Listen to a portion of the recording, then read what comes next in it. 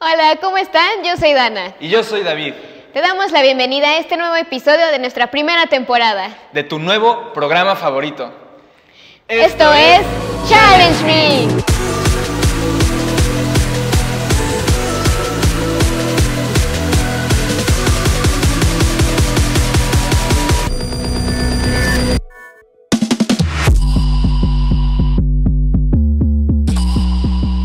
El día de hoy tendremos un programa increíble, iniciando con las noticias del mundo del gaming, seguido por una entrevista a Kerry y el mundo de los esports.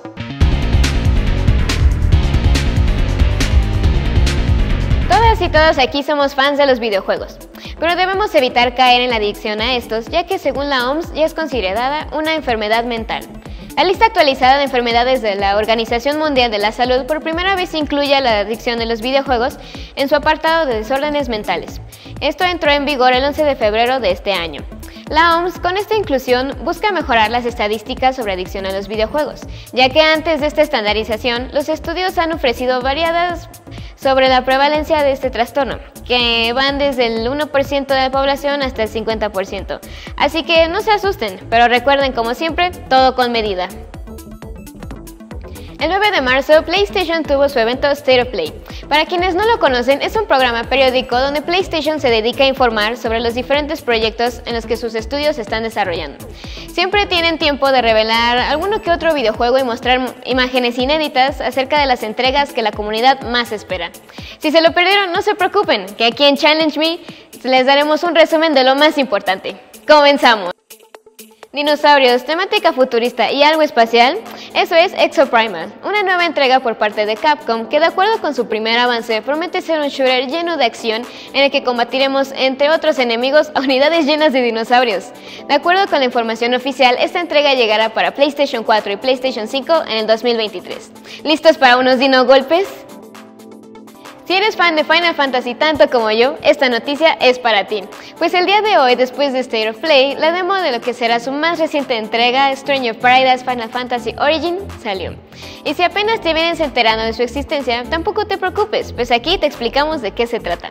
Stranger Paradise Final Fantasy Origin es un próximo juego de rol de acción desarrollado por Koei Tecmo Games y Team Ninja, y publicado por Square Enix para celebrar el 35 aniversario de la serie como un universo alterno que vuelve a contar el Final Fantasy original de Square Enix en NES. ¡Ya casi sale! Pues el juego se estrenará en este mes de marzo. Va a salir para Windows, Xbox One, PlayStation 4, PlayStation 5 y Xbox Series X y S. Pero si no pueden esperar como yo en estos momentos, vayan a descargar la demo ahorita mismo. Stereo Play tuvo lugar para videojuegos inspirados en anime, y esta vez tocó el turno de JoJo's Bizarre Adventure All Star Battle R juego de peleas que incluirá más de 50 personajes de la franquicia y sus distintos arcos narrativos. Este título repleto de fanservice llegará en otoño de este año, así que preparen sus mejores poses. No fue hace mucho que la gran empresa Rockstar decidió sorprender a todas y todos sus fans, pues confirmó que la siguiente gran entrega de la saga ya está en desarrollo. Si bien no se refirió a ella como Grand Theft Auto 6, por fin se revelaron los primeros detalles de este proyecto tan esperado. Y claro, el hype no se hizo esperar tanto que la empresa de pollo frito KFC en sus redes sociales de KFC Gaming decidió subirse al tren publicando un mensaje que encendió todas las alarmas de la comunidad de Grand Theft Auto. Captura de pantalla GTA 6 filtradas, escribió la compañía. Las imágenes están ocultas por un mensaje de red social que advierte que se trata de contenido sensible, así que es necesario que los usuarios hagan clic en el botón para revelar lo que se oculta tras la advertencia. KFC Gaming trolea a toda la comunidad, pues en realidad no hay imágenes por revelar. ¿Y esto por qué es? Pues la compañía publicó solo una captura de advertencia de Twitter, por lo que no, no se puede presionar ningún botón ni hay ningún tipo de mensaje sensible oculto. ¿Qué les parece esta broma? Pues estas son las noticias de hoy y ahora vamos a una entrevista con nuestro invitado. No te lo pierdas.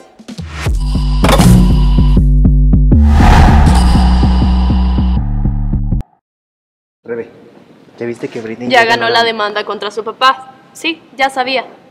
Bueno. No manches. ¿Ya viste que Graco Santalla tiene una hermana que Salió en Luis Miguel la serie y en Narcos. Bueno. Voy a ir a ver la repetición del Villarreal contra el Manchester. Espérate. El Manchester le dio una paliza 2 a 1. Entérate de todo un poco en Wiki.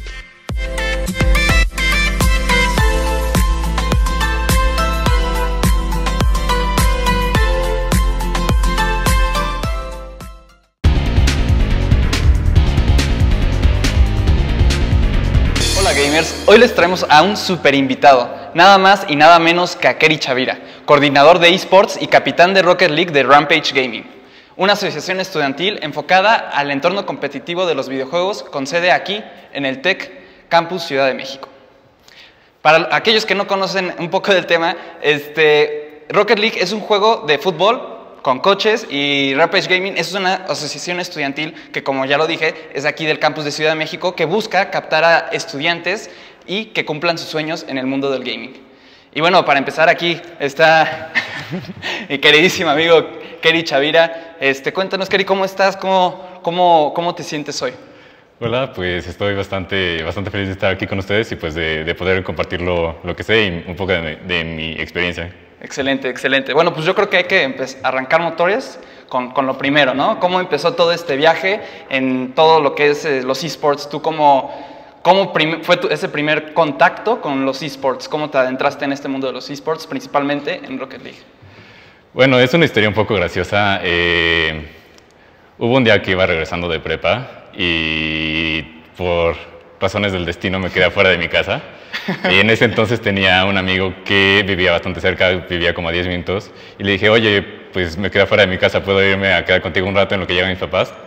me dijo, sí, no hay problema, ya llegué. Y en ese entonces, pues él tenía un PlayStation 4, y me acuerdo que en la tienda tienen varios demos, y en ese, ese día estaba el demo de Rocket League. Y ya jugamos un rato, dijimos, ah, pues fútbol, coches, pues está interesante el concepto. Y me acuerdo perfectamente que le dije, no creo, no, más bien no me veo jugando esto más de media hora. y pues sí. Exacto. Sí, no, no, no, sabía lo que estaba diciendo. Y pues, pues sí, así, así nació todo y las cosas de la vida. Excelente. Y bueno, en este, en este viaje en el que te fuiste adentrando más en los esports, cuéntame qué ha sido pues, las partes más difíciles de este proceso, que, que no todo es bonito, ¿no? No todo es jugar. Tú, tú, tú, tú ya me has comentado fuera de cámara que no todo es jugar y que a veces hacen algunas cosas pesadas. ¿Cuáles serían estas cosas? Sí, claro. Eh, tenemos que tener el enfoque de que los esports son como cualquier otro deporte, como cualquier actividad que requiere de esfuerzo. Eh, si quieres mejorar, necesitas trabajarlo, necesitas tener un, una planeación. Y pues eso, claro, siendo estudiantes requiere de mucho esfuerzo, de coordinación de tiempos, de administración. Y pues obviamente también es lo mental. Eh, puedes tener buenos días en los que te diviertes con tus amigos y todo eso, pero si estás teniendo un mal día por razones del juego, o sea, que estás jugando mal o por razones externas, pues todo te afecta. El lag, ¿no? claro, no se puede olvidar. claro, claro. Y bueno, ya pasamos por la parte mala y pues tú cuál dirías que es la parte buena, ¿no? Así como eso es lo que me mantiene aquí en el juego compitiendo contra otros equipos. Es una pregunta interesante, es, es, una pregunta que he tenido por bastante tiempo, eh, pero no sé, creo que es algo que para mí es como poder compartirlo, ¿sabes? O sea, no es tanto en el juego como en sí, pero poder compartir algo que me gusta con otras personas que también les gusta y que verlos como que ellos también van avanzando y que van mejorando. Es bonito ver, es como una relación patronal, por así decirlo. No estoy seguro de ese término, pero sí. sí, justo la parte administrativa es este, pues un poco cansada, ¿no? O sea, bueno, como tú como capitán y también coordinador de esports de no solo Rocket League, sino otros juegos como League of Legends y otras cosas aquí este, en el campus, pues obviamente se te carga un poco la mano, ¿no? Claro.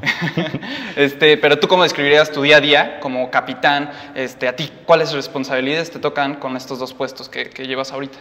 Pues bueno, o sea, principalmente como capitán tengo que también ser jugador. Entonces tengo que considerar mi tiempo de entrenamiento para mantenerme al nivel de los demás jugadores y poder mejorarme cada día. Esto implica jugar partidas, hacer análisis, eh, hacer entrenamientos y en ciertos días de la semana también eh, entrenar con el resto del equipo. Eso es como jugador. Como capitán también tengo que estar al pendiente de algunos torneos, eh, de algunos eventos para ver si podemos entrar, qué se requiere, y para mandar mensajes y para que todo esté coordinado. Eh, igual como coordinador, pues es un poco más administrativo el asunto y sobre todo tengo contacto con otros capitanes que cumplen el mismo rol pero con otros juegos. Entonces es ver qué eventos tienen ellos, si tienen algunos torneos, eh, si hay algún problema con algún jugador. Sí, claro. O si alguien quiere entrar al equipo, digamos, de forma extemporánea, pues igual llevo la canalización. E incluso también eh, siendo parte de, de la escuela, eh, a través de grupos estudiantiles, pues también hago ese, ese contacto entre la escuela, los capitanes y los jugadores. Ah, pues, bueno, sí, este, sí, es- es- son muchas cosas por hacer, claro, ¿no? O sea, son las- los temas burocráticos, administrativos, que a veces no se ven, ¿no? Que Sí. tú solo llegas y ya están jugando, ¿no? Y bueno, dicho esto, pues, ¿qué es lo que así, este, un momento te gustaría destacar de toda tu trayectoria, que digas, este momento nunca lo voy a olvidar, de, no sé, ganamos un partido, yo he estado en varios que has ganado, también que has perdido, siempre he estado ahí viéndote, pero cuéntanos cuál ha sido tu, tu momento favorito. Pues de mis momentos favoritos yo creo que fue la University, eh, la University Esports, que es una de las ligas más importantes de aquí del país, que incluye varios juegos. Eh, pero el semestre pasado logramos llegar este, por un año consecutivo a los primeros ocho del, del país. Excelente. Y creo que eso fue como un reforzamiento de que todo nuestro esfuerzo, todas nuestras horas, toda la pasión Sí, y claro. hasta las lágrimas que le pusimos valieron la pena. No Sí. cualquiera llega entre los mejores ocho del país y pues sí fue bastante reconfortante saber que tenemos ese nivel. Sí, y qué bueno, qué bueno que dices eso. Tú, este, ¿cómo dirías que es el, pues el ambiente competitivo aquí en México, de los esports en general? También de Rocket League, ¿no? Que es el que conoces más, pero de los esports en general, ¿qué es lo que tú ves, lo que hay y lo que no hay? Claro, yo veo bastante entusiasmo en la gente. Si ves, le preguntas a cualquiera, la gran mayoría juega en su celular, juega en consola, juega algunos en computadora. Y es esa pasión de estar con tus amigos, tal vez no echar la reta de fútbol, pero pues sí, tal vez una partida entre clases, después de clases a medianoche. Sí. Es, es eso de poder compartir. Y es esa emoción la que está llevando a los esports aquí en México adelante. Sin embargo, creo que hace falta un poco de profesionalismo o más seriedad en el asunto.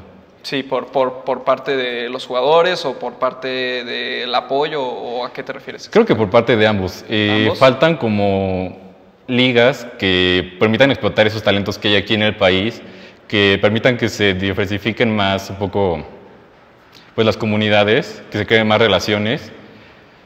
Y también creo que hay falta de apoyo por las instituciones. Creo que aquí en México y en general en el mundo los esports son un, un mercado que está creciendo bastante, bastante rápido y son una muy buena oportunidad para invertir ahorita.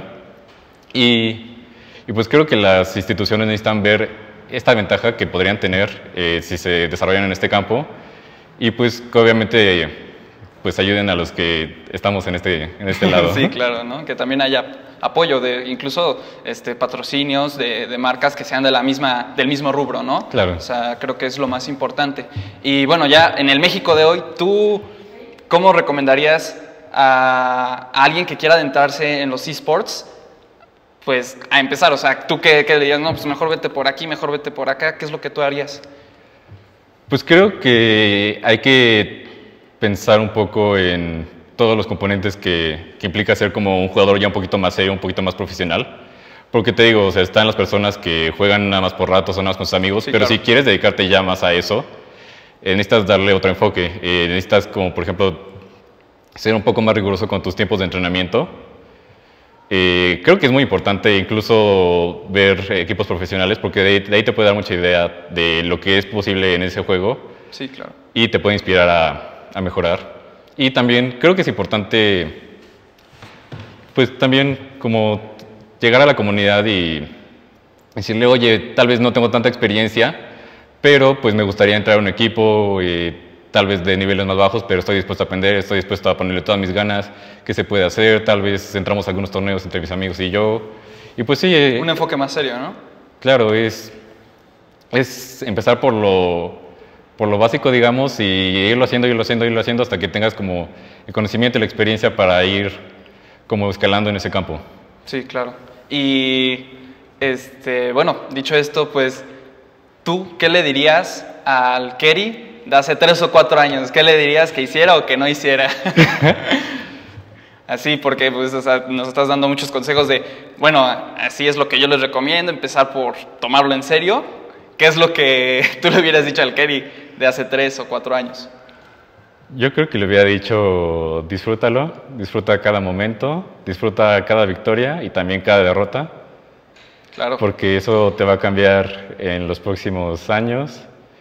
Eh, pero sobre todo, no, no te lo tomes tan en serio. Tú, tú- tú no tienes control de, de todo. Claro. Y... Sí, no hay más como tú como capitán, luego sientes mucha presión y tienes dos puestos muy importantes, que es el- la coordinación y el capitán.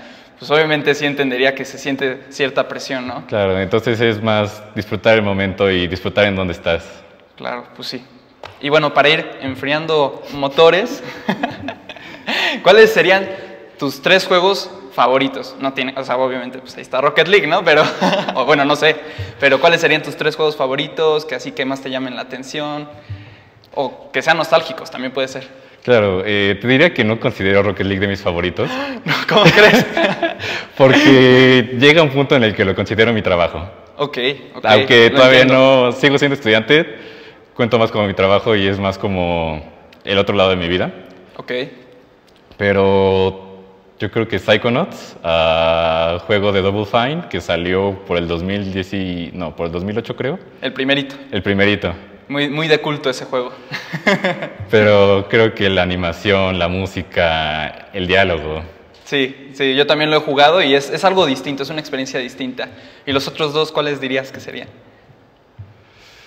te diría Skyrim, no lo jugué tanto, pero Es bueno, es bueno. Creo que es bueno para perderse un rato y nada más pasear o ponerte a hacer misiones. Es, es algo en lo que podría estar todo el día si no Sí. tuviera otras cosas que hacer. Y me acuerdo de un juego que me acompañó bastante, sobre todo en, en viajes. eh, tal vez no se han conocido, pero se llama Patapón. Uy, juegazo, sí, sí, sí. Yo lo jugué poquito, pero se me rayó bien rápido el disco ahí. Sí, no. Tenía el 1 y el 2 y es como una es como una combinación de juego rítmico, pero de estrategia, Sí. donde controlas como a unos muñecos eh, que van como conquist- conquistando diferentes como monstruos. Y sí, también como me gusta ese lado de la música, como poder combinarlo y eh, no sé, como los elementos visuales. Sí, claro. Sí, eh, tiene un arte muy, muy bonito, muy este, llamativo, pero al mismo tiempo minimalista. Sí. Es lo que también a mí me llama la atención. Y bueno, este, ya, te, te- te pregunté el top 3. Ahora viene otra pregunta también de videojuegos que con esta me gustaría culminar, que sería, este, ¿qué juego le recomendarías a nuestra audiencia que jugara? O sea, puede ser nuevo, muy viejo, o algo que tú digas, este juego lo debería de jugar todos los gamers para, pues, para que sepan qué es esta experiencia, ¿no? Ok, eh, muy buena pregunta. Eh, creo que ya la tenía lista. No, no porque me lo habías dicho antes, pero ya lo he pensado. Y yo diría que Hollow Knight. Hollow Knight. Yo creo que, bueno, en mi opinión, los videojuegos son un arte. Algunos, no todos, Yo claro. opino exactamente lo mismo. Y creo que Hollow Knight es el ejemplo perfecto. Sí. Tiene historia, tiene lore, tiene música, tiene animación. Creo que tiene todos los elementos para poder ser considerado un arte. Claro, claro, pues sí. Este, y muchas gracias, Kerry, por acompañarnos el día de hoy. Todo un gusto aquí tenerte en el set. Este, pues nada, o sea, ¿quieres decirle algo a nuestra audiencia? Que te vayan a ver a, este, al, al siguiente torneo que vayan a organizar o algo así. Ah, sí, apoyen a sus equipos locales. eh, si les interesa, pues involúcrense. y Vamos a estar en Rampage Gaming siempre abiertos a, a nuevas personas que se, que se quieran integrar a la comunidad. Y pues nada, disfruten sus partidas. Muchas gracias, Kerry. Bueno, esto fue todo por hoy, pero no se preocupen, todavía hay mucho más de Challenge Me. Ya saben, nos vemos todos los jueves a las 8 pm por Blue Media. Recuerden dejar sus comentarios y seguirnos aquí abajo. Muchas gracias y hasta la próxima. Esto fue Challenge Me.